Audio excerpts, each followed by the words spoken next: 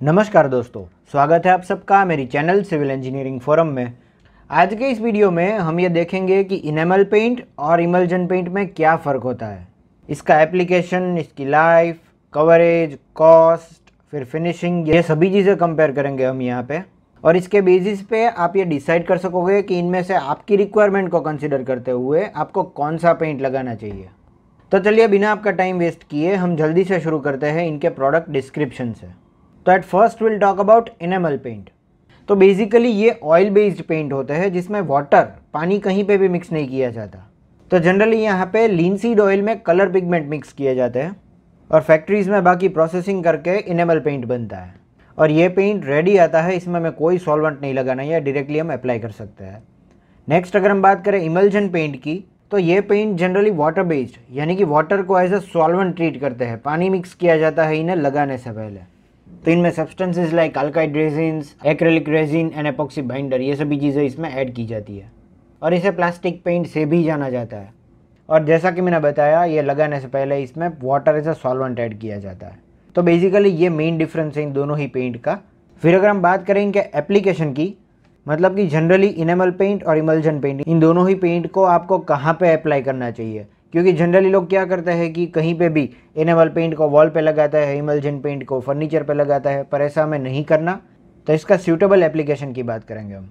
तो enamel paint जो है, वो हमें वुडन एंड मेटालिक सरफेस पे लगाना चाहिए, जिससे कि इसकी ड्यूरेबिलिटी भी ज़्यादा हो मतलब इसकी लाइफ भी ज़्यादा मिले और इसमें परफेक्ट फिनिशिंग हमें मिल जाए, ताकि हमें हमारा डिज़ायर्ड रिच और एक प्रीमियम लुक मिल सके। फिर अगर हम इमल्जन पेंट की बात करें तो ये हमारी वॉल्स के इंटीरियर और एक्सटीरियर में लगाने वाला पेंट है। ताकि कोई भी प्लास्टर्ड सरफेस पे या फिर पीओपी सरफेस पे पुट्टी पे आप लगा सकते हो। तो इसमें अब क्या है कि आपकी वॉल्स पे आपको एक अल्ट्रा प्रीमियम लुक मिल जाएगा।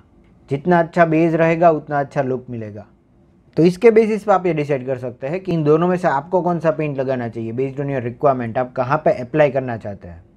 फिर अगर बात करें इनकी ड्यूरेबिलिटी की मतलब इनकी लाइफ ये लगाने के बाद कितना टिकेगा तो इनेमल पेंट जो है वो थोड़े कम ड्यूरेबल है। इसकी लाइफ थोड़ी कम होती है इमल्जन पेंट से अगर हम कंपेयर करें।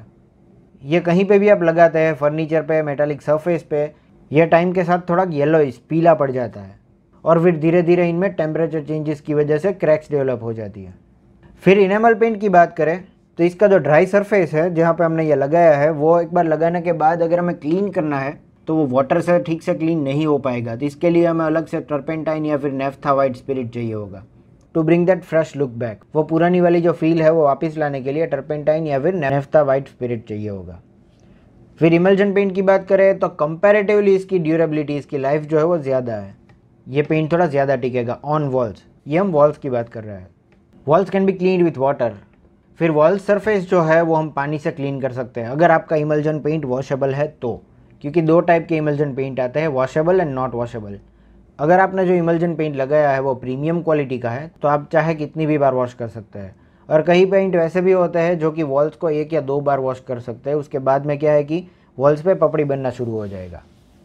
पर क्लीन करने के लिए यू कैन यूज़ वाटर पानी से आप क्लीन कर सकते हैं। इसके लिए टर्पेंटाइन या फिर कोई भी केमिकल की ज़रूरत नहीं पड़ेगी। फिर हम बात करेंगे ड्राइंग टाइम की। मतलब लगाने के बाद कितने टाइम में ये ड्राई होगा।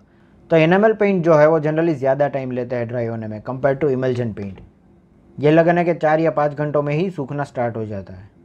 फिर फ्लेमेबिलिटी की बात करें तो एनिमल पेंट जो है वो फ्लेमेबल है। इसका सरफेस जो है वो आग आसानी से पकड़ लेता है। पर इमल्जन पेंट जो है वो इतने फ्लेमेबल नहीं रहते तो ये इतना जल्दी आग नहीं पकड़ते नेक्स्ट हम बात करेंगे टॉक्सिसिटी की मतलब एडवर्स इफ़ेक्ट ऑन हेल्थ ये पेंट की इफ़ेक्ट हमारी हेल्थ पे कैसे पड़ेगी?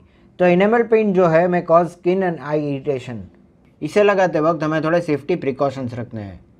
ये हमें हमारी स्किन के और आई के कांटेक्ट में डायरेक्टली नहीं आने देना। पर इमल्जन पेंट जो है वो हमारी हेल्थ के लिए सूटेबल है, ये सेफ़ है।